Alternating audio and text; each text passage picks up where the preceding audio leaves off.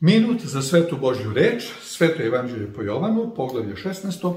Čitamo od prvog stiha pa nekoliko narednih stihova kojima ćemo dati komentar. Ovo vam kazah da se ne sablaznite, kaže Hristos. Izgonit će vas iz zbornica i doći će vreme kada će svaki koji vas ubija misliti da Bogu službu čini. I ovo će činiti jer ne poznaše oca ani mene. Nego vam ovo kazah kada dođe vreme da se opomenete ovoga da vam ja kazah, a isprava ne kazah vam ovo jer bijah sa vama. A sada idem ka onome koji me posla i nikome od vas ne pita kuda ideš, nego što vam ovo kazah, žalostni ste i žalošću se napuni srce vaše. Nego vam ja istinu govorim, bolje za vas da ja idem, jer ako ja ne idem u teštelj, neće doći k vama, ako li idem, poslaću ga k vama. Dakle, vidimo sada Hristos ima taj skoro svoj oproštajni govor sa svojim učenicima i kaže on njima, ja sam sve ovo kazao da se ne sablaznite, to jest da se ne, ne o, sablazan zapravo znači da se povuku od njega, izgonit će vas iz zbornica, dakle, bit ćete progonjeni. I doći će vreme kada će svako ko vas ubija misliti da Bogu službu čini.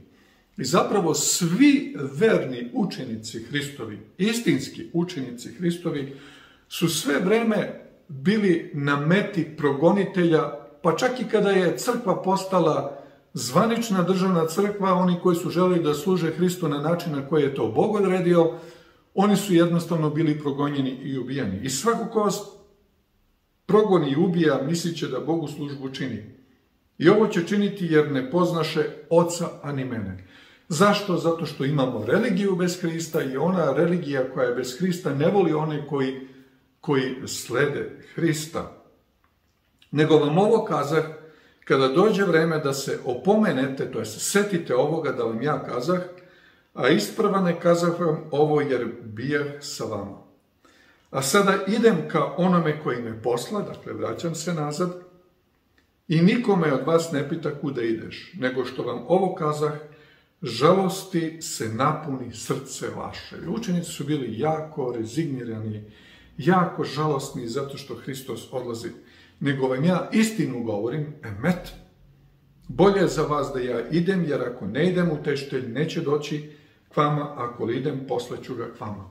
I taj utešitelj koji treba da dođe je duh sveti. Vidjet ćemo u sledećem čitanju te tekstove koja je uloga utešitelja koji će utešiti njihova žalostna srca. I zapravo svi koji su verni Bogu, čija srca su žalostna zbog svih nevolja i nepravda koje se čine u svetu, mogu biti jedino utešeni ako prime drugoga uteštelja, jer Hristos je bio njihov prvi uteštelj koji ih je tešio, kada su bili žalostni, kada su bili rezignirani, međutim, sada, kada Hristos treba da odla, ode sa ove zemlje, on će poslati drugoga utešitelja, to jeste Duha Svetoga, koji će ih naučiti svemu što je on zapovedio. Tako da, ako smo rezignirani, uplašeni, žalostni zbog stanja u svetu, Jedini način da budemo utešeni jeste da Duh Sveti dođe na nas